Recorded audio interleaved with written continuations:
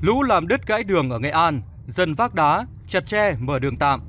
Con đường tạm khoảng 100 mét được hoàn thiện trong 1,5 ngày, giúp hàng chục hộ dân vùng lũ Quỳ Châu, Nghệ An thoát cảnh bị cô lập.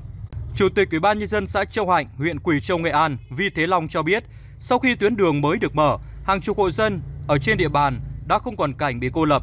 Trước đó vào khoảng 10 giờ sáng 27 tháng 9, mưa lớn, nước đổ dồn về khiến nhiều đoạn đường chính vào cụm bản Minh Châu, xã Châu Hạnh bị sạt lở gây chia cắt. Toàn bộ mặt đường dài hơn 10 mét bị gãy đôi, tạo thành một vực lớn có độ sâu khoảng 7 mét, gần 30 hộ dân với 100 nhân khẩu bị cô lập. Trước thực trạng trên, Ủy ban nhân dân xã Châu Hạnh đã khảo sát mở một con đường tạm với chiều dài gần 100 mét, chiều rộng khoảng 2 mét đủ cho xe máy người dân đi lại. Do tuyến đường này nằm ở vị trí khá cao, khe suối chia cắt nên máy móc không thể hỗ trợ mở đường được, chủ yếu phải dùng sức người để mở đường. Trong hai ngày 29 và 30 tháng 9, chính quyền địa phương đã huy động người dân hai bản Minh Tiến, Minh Châu cùng lực lượng công an, quân sự khẩn trương thi công.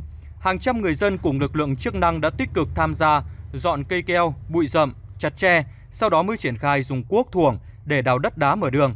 Huyện Quỳ Châu là địa phương chịu ảnh hưởng nặng nề của mưa lớn trong những ngày qua. Các xã Châu Tiến, Châu Thắng, thị trấn Tân Lạc, Châu Hạnh, Châu Bình, Châu Hội bị thiệt hại nặng nề về tài sản. Theo thống kê ban đầu, mưa lũ đã khiến hơn 1.200 ngôi nhà bị ngập sâu từ 1 đến 5 mét. Trên 5.000 người dân phải di rời, có 3 xã 6 bản bị cô lập hoàn toàn, 7 điểm trường bị ngập sâu trong nước, nhiều diện tích lúa hoa màu bị ngập sâu, hơn 1.000 con gia súc gia cầm bị cuốn trôi, ước tính thiệt hại hàng trăm tỷ đồng. Chính quyền các địa phương, trường học đang nỗ lực chung tay khắc phục hậu quả, sớm ổn định lại cuộc sống cho người dân.